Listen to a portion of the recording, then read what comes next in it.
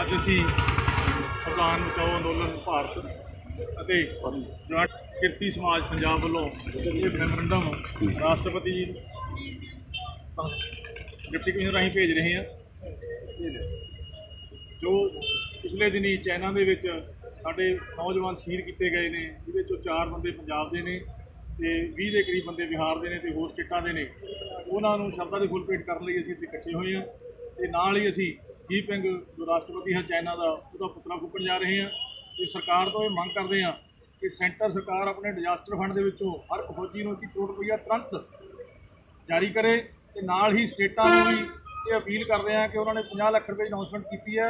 ਉਹ ਨਾਲ ਦੀ ਨਾਲ ਜਿਹੜੇ ਉਹਨਾਂ ਨੇ ਫੰਡ ਅੱਜ ਅਸੀਂ ਸਮਾਜ ਦੀਆਂ ਦਲ ਸਮਾਜ ਦੀਆਂ ਭਰਾਤਰੀ ਜਥੇਬੰਦੀਆਂ ਵੱਲੋਂ ਜੋ ਪਿਛਲੇ 15-16 ਜੂਨ ਦੀ ਦਰਮਿਆਨੀ ਰਾਤ ਨੂੰ ਚੀਨ ਵੱਲੋਂ ਵੱਡੇ ਪੱਧਰ ਤੇ ਸਾਡੇ ਜਿਹੜੇ ਸੂਰਬੀਰ ਯੋਧੇ ਨੇ ਫੌਜੀ ਵੀਰ ਨੇ ਉਹਨਾਂ ਦਾ 20 ਗੁਨਾਹਾਂ ਦਾ ਜਿਹੜਾ ਕਤਲ ਕੀਤਾ ਗਿਆ।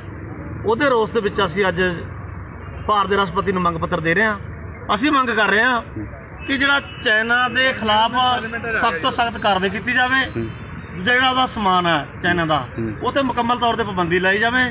ਤੀਜੀ ਅਸੀਂ ਮੰਗ ਕਰਦੇ ਹਾਂ ਕਿ ਮ੍ਰਿਤਕਾਂ ਦੇ ਵਾਰਸਾਂ ਦੇ ਵਿੱਚੋਂ ਇੱਕ ਬੰਦੇ ਨੂੰ ਸਰਕਾਰੀ ਨੌਕਰੀ ਔਰ 1 ਕਰੋੜ ਰੁਪਏ ਜਿਹੜਾ ਹੈ ਲੱਗਦਾ ਉਹਨੂੰ ਐਸੀ ਐਕਸਪ੍ਰੈਸ ਜਿਹੜੀ ਗ੍ਰਾਂਟ ਆ ਉਹ ਮੈਂ ਸਰਬਜੀਤ ਸਿੰਘ ਰੌਣੀ ਚੇਅਰਮੈਨ ਜਬਰ ਜੋਨੋ ਵਿਰੋਧੀ ਫਰੰਟ ਪੰਜਾਬ। ਅਸੀਂ ਸਾਰੀਆਂ ਜਥੇਬੰਦੀਆਂ ਇੱਕ ਆ, ਜਿਹੜੇ ਸਾਡੇ ਥੋ- ਥੋੜੇ ਬਹੁਤੇ ਵੀਰੇ ਇੱਧਰ ਉੱਧਰ ਵੀ ਫਿਰ ਰਹੇ ਨੇ, ਉਹ ਸਾਰੇ ਬੜੇ ਸੂਝਵਾਨ, ਬੜੇ ਸੁਝਾਲੂ ਜਿਹੜੇ ਯੋਗਦਾਨ ਸਾਡੇ ਪਾ ਰਹੇ ਨੇ। ਗੁਰਚਰਨ ਸਿੰਘ ਰਾਮਗੜ੍ਹ ਜੀ, ਸਾਡੇ ਕਨਵੀਨਰ ਸਾਹਿਬ। ਇਹਨਾਂ ਦੀ ਕੋਸ਼ਿਸ਼ਾਂ ਦੇ ਸਦਕਾ ਸਾਰੇ ਅਸੀਂ ਇੱਕ ਮੁੱਠ ਹੋ ਜਾਾਂਗੇ ਜਦ ਆਰਐਸਐਸ ਵਾਲੇ ਕਿਸੇ ਮੁੱਠ ਤੇ ਸਾਰੇ ਇਕੱਠੇ ਹੋ ਸਕਦੇ ਨੇ, ਕੀ ਅਸੀਂ ਇਕੱਠੇ ਨਹੀਂ ਹੋ ਸਕਦੇ? ਜੋ ਅਸੀਂ ਮੈਮੋਰੰਡਮ ਦੇਣਾ ਜਾ ਰਹੇ ਹਾਂ, ਇਹ ਇੱਕ ਚਾਈਨਾ ਤੇ ਜਿਹੜੀ ਸਾਡੇ ਫੌਜੀਆਂ ਨਾਲ ਬਹੁਤ ਘਟੀਆ ਹਰਕਤ ਕੀਤੀ ਗਈ ਹੈ। ਅਸੀਂ ਚਾਈਨਾ ਦੀ ਘੱਟ ਆਪਣੇ ਇੰਡੀਆ ਗਵਰਨਮੈਂਟ ਦੀ ਜ਼ਿਆਦਾ ਨਿਖੇਧੀ ਕਰਾਂਗੇ। ਜਿਹੜੇ ਕਿ ਸਾਡੇ ਕਦੇ ਫੌਜੀਆਂ ਦੇ ਸਿਰ ਵੱਢ ਕੇ ਲੈ ਜਾਂਦੇ ਨੇ, ਕਦੇ ਫੌਜੀਆਂ ਨਿਹੱਤਿਆਂ ਨੂੰ ਮਰਵਾਉਂਦੇ ਨੇ, ਇਹ ਅੱਜ ਜਿਹੜਾ ਪ੍ਰਧਾਨ ਮੰਤਰੀ ਹੈ, ਕਿਤੇ ਨਾ ਕਿਤੇ ਫੇਲ ਰਿਹਾ ਹੈ। ਇਹਨਾਂ ਨੇ ਕਿਹਾ ਸੀ ਵੀ ਦੋ ਵਾਦੇ 10 ਸਿਰ ਲੈ ਕੇ ਆਵਾਂਗੇ ਅਸੀਂ।